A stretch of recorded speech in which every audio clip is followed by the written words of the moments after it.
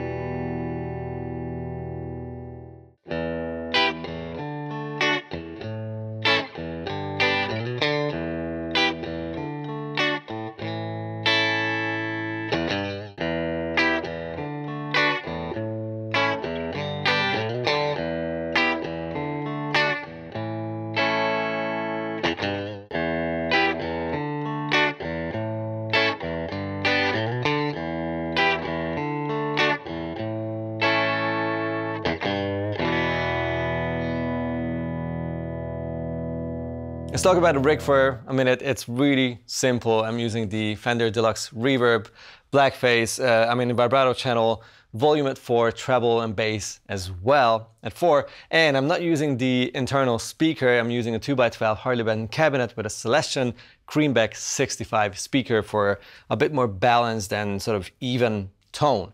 Uh, I really like that tone and the three guitars are obvious. The only thing that uh, comes on top is an overdrive pedal for this second round. We're going to be doing the uh, overdrive uh, comparisons. I'll be using the Caslator Toxic Twins overdrive, only the left side which is a blues breaker style overdrive and it's not, it doesn't color the tone extremely which is fair game for all three guitars. You will hear the differences if there are any.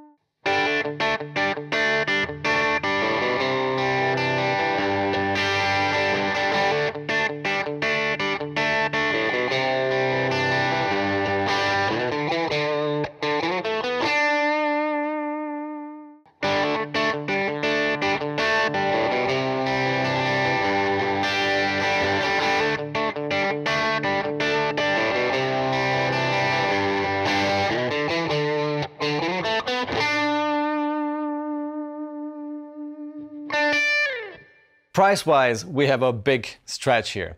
We go from around 1100 euros for the made in Mexico Vintera 50, uh, 50s modified uh, up to almost 2K. This is the other end of the spectrum. This is the Maybach Teleman, uh, which is just under 2,000 euros right now. Of course, check for current prices in your country in the link below that's going to be the relevant one. This is just to, to put this in perspective, really. There are reasons for those uh, differences in price, vibe, specs in some little ways, maybe pot quality, wood selection. Maybe uh, with Maybach, you'll have uh, little things that come much more closer to like a custom shop because it's a small company and they just have a different way of building guitars than a modern big factory in Mexico where Fender builds these guitars. It doesn't really have any modern specs um, except for the fretboard being a bit more flat than like the, the really old uh, original Teles. So um,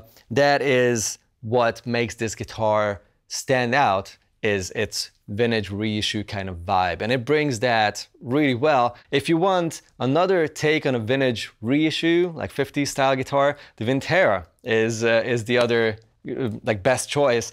Uh, this one, the modified, has custom shop pickups, which sound fantastic, of course, and uh, the fancy switch with the four-way blade and the in-outer phase, etc.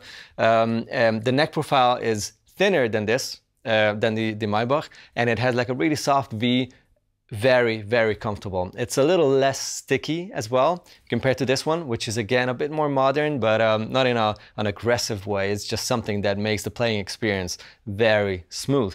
So uh, the Vintera has that good mix between modern and vintage specs with a neck that's much more comfortable to play for most guitar players. And then, of course, the American Professional 2 Tele, I mean, come on, it's um, it is the standard really. It has the most modern neck and playability out of these three for sure because it has a satin neck, uh, back and front of the neck, which uh, which makes a big big difference. Also, it's thinner. It's a like a, a nice rounder C. It's uh, much more modern, and it sounds like a really really percussive open sounding Tele, uh, which of course the uh, the VMod 2 pickups in that um, Tele uh, definitely bring you, and that's awesome about it. It's just not very vintagey if you're into that. It definitely has its strengths, and it's really easy to see why it's so beloved. All right, take it easy. Make sure to subscribe to the channel and ring the notification bell, and let me know in the comments below which one was your favorite. And also, of course, if you want to see a similar shootout with other guitar types. You guys take it easy. Bye-bye.